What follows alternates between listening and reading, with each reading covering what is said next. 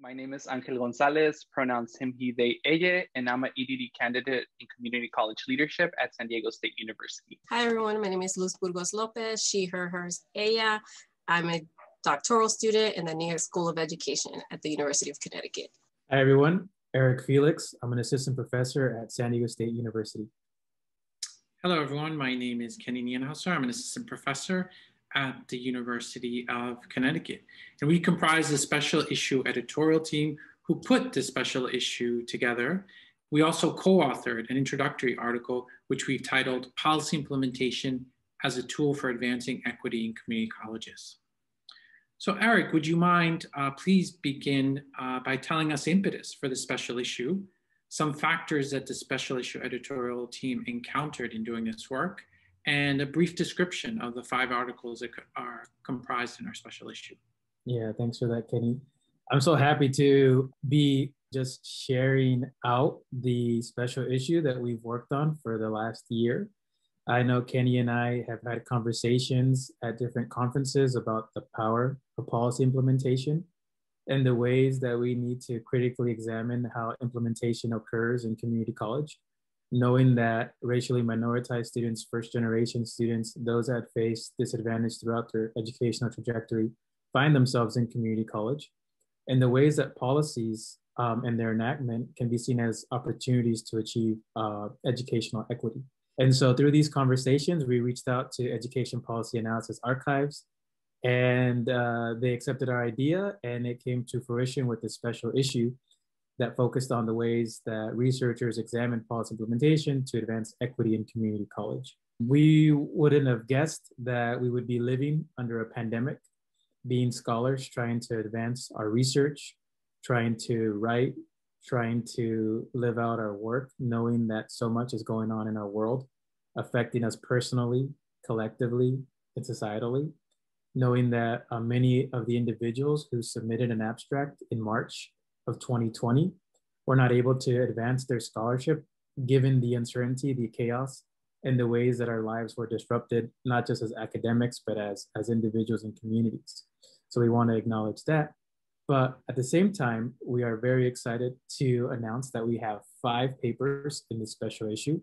And we called on those scholars to center their work to examine how policy implementation, and reform efforts in community college can lead towards more equitable conditions. Our hope was to showcase research that critically investigated the ways policies are enacted in various settings in the community college context. Along with this introduction, the special issue includes five articles that explores topics like tuition-free programs and their ability to deliver on the promise of access and equity, the development of degree reclamation strategies that hope to support those that have some college but no degree population helping them finish um, their educational credential, how transfer articulation agreements benefit racially minoritized communities, institutional efforts to try to expand the success in STEM programs in community college, and the role of race conscious leadership in policy implementation.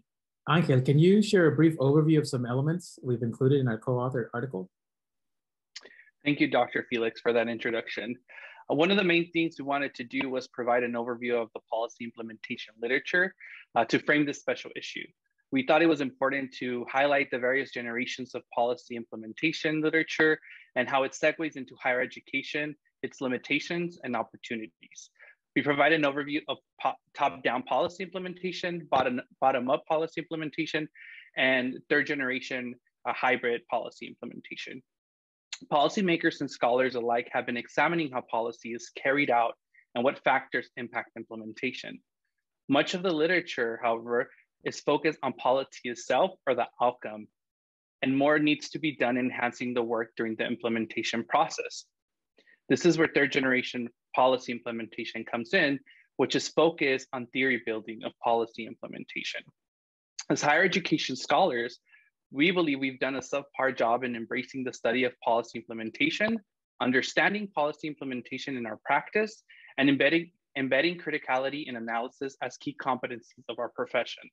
We urge that equity must be central in policy implementation for higher education scholars and practitioners across all sectors.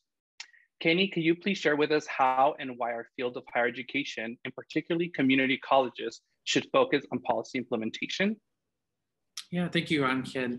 So to, to build off of the, the great ideas that Angel just shared with us, uh, in our article, what we argue is that the higher education landscape is in dire need of a revitalized and deeper understanding of factors that shape how policies are implemented. So we begin this argument by outlining that there's a paucity of research in higher education that really sort of centers on policy implementation. So we engaged in a review of the journal articles across three of the most cited journals in higher education and those three journals that are focused in community colleges and found a really dearth uh, amount of research that is focused on policy implementation. But we found that especially pronounced in the higher education journals. So what we do is we provide a call in this co-authored piece for us to expand the research landscape to consider and center the importance of policy implementation research in the work of those individuals such as researchers, editors, and funders. So in this expansion, however, we argue that we should be uplifting the strengths of our community college systems, institutions, nearby communities, leaders, staff, and students, while highlighting the challenges and opportunities that, may, that they may face when implementing policies as recipients of policies or both. Next, what we do is we devote a section to our colleagues who are engaged in implementing policies. As former or current full-time higher education student affairs professionals, we understand the critical role practitioners have in addressing systemic institutional inequities.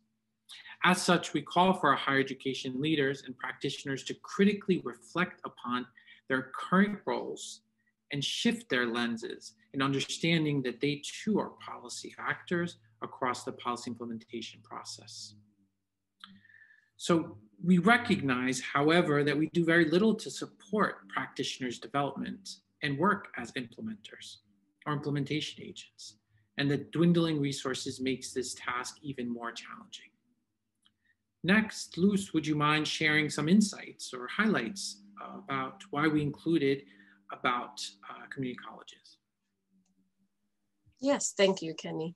So due to the open access admission policies, um, community colleges have been front and center in conversations about educational attainment for many students, specifically for racially minoritized students. Although community colleges enroll the highest share of undergraduate students, the completion and outcome remain scarce and drastically lower when disaggregated by race and gender. One of the many challenges that impact community colleges' ability to advance equity-based initiative is the sector's funding model, which continue to undersupport community colleges, which ultimately translates into direct disproportionate impact to minoritized students. And this is specifically important when we're thinking about equity in the community college sector along with policy. While a number of policies have been implemented to increase the access and address inequity for historically marginalized and excluded populations, they continue to experience barriers to access, degree attainment, and hostile campus environment. Therefore, what we argue from an equity framework, we must collectively ask how our implementation of policies can reduce harm, revise abusive systems, and increase the support for individuals who have been historically excluded from higher education. Why is this important? Because as highlighted by Harper in 2019, many policies that are race-driven are embedded within mainstream racist hegemonic frameworks that consistently question the worthiness of African-American students as educated citizens and the legitimacy of their presence in higher ed. And we can expand that based on the literature for all um, historically racialized populations. So with that, I want to pass it on to Angel, who will provide us with our closing remarks. Thank you so much, Luz. We hope that this introduction piece helps frame this special issue and the role of policy implementation moving towards equity in community colleges. We would like to thank each scholar whose work is included in this special issue. We appreciate your scholarship and its ability to help us think more deeply about how the intersections of policy implementation and equity are manifested in the community college sector. We also want to acknowledge those scholars whose work was unable to make it into this issue, primarily due to COVID-19. We encourage you to continue to pursue this area of inquiry, and we look forward to learning from your important work. We would like to thank the Educational Policy Analysis Archives editorial team for their encouragement and support in bringing the special issue to reality. Thank you to all the reviewers who provided thoughtful feedback during the review process.